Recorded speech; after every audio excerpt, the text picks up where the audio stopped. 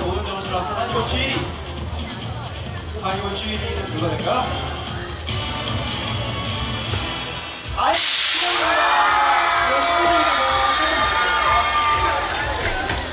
네, 저희가 이렇게 활동 어, 많은 사랑 봐주셔서 먼저 팬분들께 정말 감사드리고요. 저희 예쁘게 나올 수 있도록 신경 많이 써주신 세연님 정말 감사드립니다. 네, 그리고 김대호 대표님, 강수혁 PD님, 그리고 재은혁 그래면님, 그리고 가준님까지 항상 신경 써주시고 도와주셔서 감사합니다. 앞으로도 더 멋진 모습을 보여드릴 테니 네, 많이 응원해주시면 감사합니다. 네, 그리고 저희가 이렇게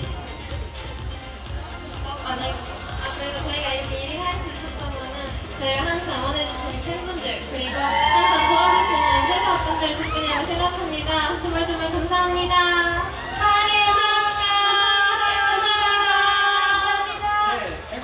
앵콜 무대 준비해 주시고요. 오늘 special MC로 함께한 두분 소개 부탁드립니다.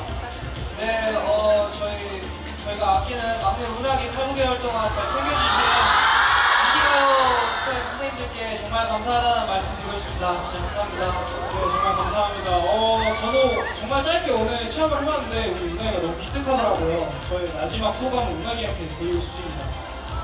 아, 네. 어, 다음 주부터 MC가 아니라 이제 아티스트로서 이렇게 출연하는데요.